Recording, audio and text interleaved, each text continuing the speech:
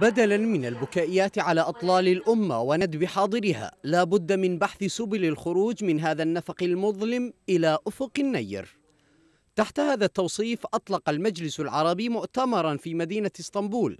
حمل عنوان عرب المستقبل من أمة رعاية إلى أمة مواطنين. وذلك بمشاركة أكثر من 350 مفكرا وسياسيا وإعلاميا من مختلف البلدان العربية. هذا المؤتمر المجلس العربي ومؤتمره من أجل أمة مواطنين وليست أمة رعاية هو خطوة أولية نحو تأسيس جبهة جديدة للشعوب العربية. تستطيع أن تتبنى مطالبها الأساسية في الحرية والديمقراطية والتنمية.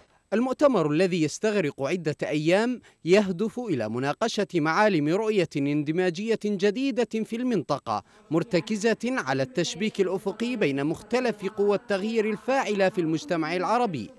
وتتنوع أجنداته بين إقامة ورش عمل مغلقة وإجراء حوارات جماعية وتقديم رؤى فكرية بغية مناقشتها. ومن ثم الوصول إلى صيغة عمل مشترك تطبق على أرض الواقع في مختلف الميادين. نحن الآن نجتمع هنا لنفكر في المستقبل. لا لنقود هذا المستقبل وإنما لنستشف إلى أين يعني الرياح تدفعنا لأنه في الواقع الرياح التاريخية التي تدفعنا ونحن على أتم الثقة أن الرياح تدفع نحو تحقيق ما نسميه شعب المواطنين يعني شعب يملك دولة ولا تملكه دولة شعب يقطع مع نظام الرعاية آه، شعب أنه مبني اليوم على آه، أجيال جديدة. وتبحث ورش العمل صياغة السيناريوهات الممكنة للرؤية العربية البديلة. ومعرفة إمكانية القوى الفاعلة ومدى قدرتها على تحقيق دولة المواطنة كما تناقش التشبيك بين قوى التغيير في البلدان العربية وبحث معالم الرؤية التنموية البديلة في المنطقة والقادرة على تحريك الركود الاقتصادي وتوجيه الرؤى المجتمعية في البلاد العربية.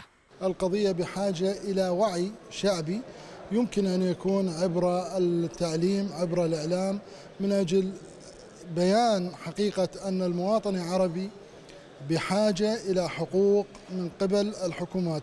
ويبقى الوصول إلى الخلاص المنشود محاطا بعوائق كثيرة يجب التغلب عليها.